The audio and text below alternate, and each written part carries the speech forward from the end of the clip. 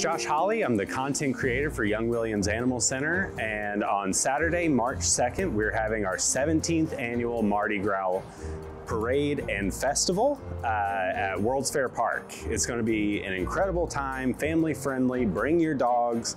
Um, you can actually register to be in the parade. Uh, our early bird registration ends on February 29th, and that'll have a $15 registration fee.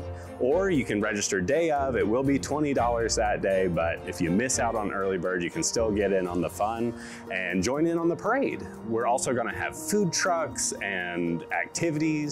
Um, it's going to be an incredible time. Costume contest. Uh, you can dress up with your dog. We have lots of categories. Um, and who knows, you might win first place.